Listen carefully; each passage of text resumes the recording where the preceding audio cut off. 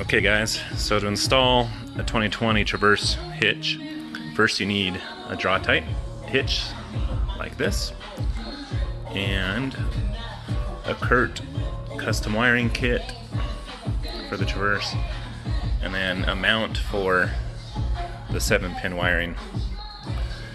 And if you want to be more safe to use some dielectric grease on you know these connections not necessary, but it helps. And so the first thing you gotta do is pop these little clips with your screwdriver and remove these bolts, two of those, and then the Torx for that one, and do the same on that side. And what we'll do is we'll remove this whole piece here as all one unit. And we'll have to take off, next, now we're gonna take off these four screws here. Oh, sorry, you're not. There we are. then we'll need to pop out this portion here. There's just two, two of those fasteners, and it just you just pull on it, pops out, and you don't want to go more than two because you can see that's as far as we can go. We need to access and loosen that bolt there, and then we can take off the whole bumper. So we got the bolts from the window wells taken off and there are two more. Just this one underneath and that one over there. So we'll loosen those and then we can take off the whole bumper.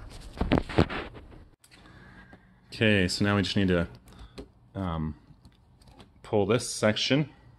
There's three pins here. You just need to pull here and pop these out. I've already done on this side so you can kind of see what it looks like.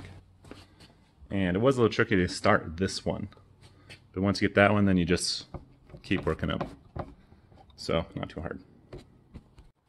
Okay, so the bumper actually pulled off pretty easy. There's one more last tab here before you can pull off the bumper. And you can see the tabs here for the side. And now what we need to do is remove this bar.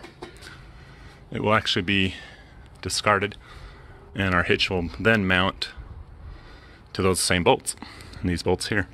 So take this bar off, bolts there, four bolts there, and then you need to take a tie down and just hook it to your spring there underneath and then to the next spring so you can support your exhaust so it doesn't fall down too much. Here we've supported the exhaust system, the simple tie down. To your springs and it supports there. So when you loosen these bolts, this will will hang without dropping to the ground. Or actually I guess there's another support back here. Exhaust hanger that won't allow it to drop too far but I guess it's better just to they say to use this so I'm gonna do that. Okay see we have our bolts removed. The exhaust is free. Exhaust free bolts removed. And all you do is take this off a little hard with one hand. And that's that. Now we're ready for the hitch. And the connector we bought over there actually simply plugs in there. And you'll just simply wire it to your opening, your hitch opening. So the bumper is over there. That's what it looks like when you have it taken off. It actually came off pretty easy. And our hitch will be in the opening there and you can still use the cover. And now we can install the Draw-Tite. So for the wiring, you just take off this cover. It's just garbage. And you'll take your wiring connector and simply plug this to there. And then we'll have it coming out to the hitch opening.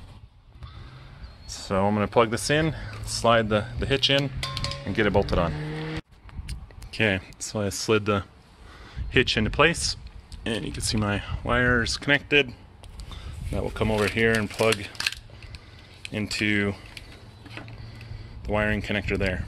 So we have the mount and grease over there for that.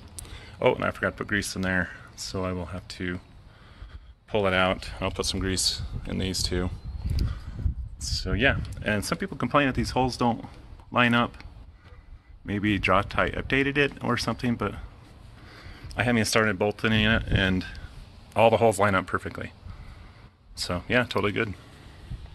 Ready to bolt on, and we'll just put everything back the way it was before. These go here. Two bolts there. Your two bolts underneath. And good. So the kit comes with these bolt fish wires. There's four of them. And technically you're supposed to just slide your hitch into place and then you're gonna have to fish these bolts and that slide washer deal through the hole.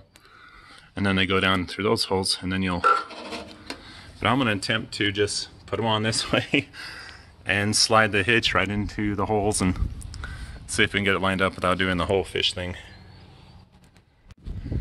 So yeah mine was easy to the bolt method worked they slid right into place I didn't have to use if you can see the other one there it's over here uh, things are lined up hitch is on. We'll finish bolting. Yeah, I didn't need to fish wires through this little hole. And so now we'll just finish bolting it up and the hitch will be installed. This will come to here and mount onto that mount over there and the hitch already has a welded on mount plate so it'll totally look factory um, this is probably what the Chevrolet uses for their own hitches anyway from Draw-Tite. And yeah, pretty simple. So we'll bolt everything tight, put the bumper back on, and good to go. I'll put in the link below to purchase this on Amazon and the wiring kit and also the, the bracket in the links below. So check it out. Thanks for watching. Okay, so these bolts were a little tricky, not too bad. What you want to do is pull down on the bolt while you're threading on your nut so that the bolt doesn't move around too much on you. And then just slowly hand tighten it and then take the wrench and finish the rest. The other one was the same. Um, some people put a screwdriver above the nut to put pressure against the bolt and then below the bolt um, but I just simply pulled down on the nut or the bolt and the nut tightened just fine. And just as a side note, before you tighten everything down and tighten the bolts underneath the, the mufflers, it's good just temporarily fish these bolts through to make sure your bumper's lined up so that some people have a problem getting these bolts through after they tighten the bottom bolts and the upper bolts. So it's better to get these on make sure your bumper is perfectly centered. Mine's good. Got free play on all the bolts. So yeah now I'll tighten the bottoms tighten the other bolts. These will go back up here and we'll throw the bumper on back on and fish the wire through to this and that just plugs into the back of your connector and the mounting plate over there we'll mount this to the bottom of that. And what you want to do is mount the plate backwards. So don't mount it this way. You want to mount it this way so that this recesses more so you can fit your cover back onto your bumper. Anyway, that will do it. Thanks.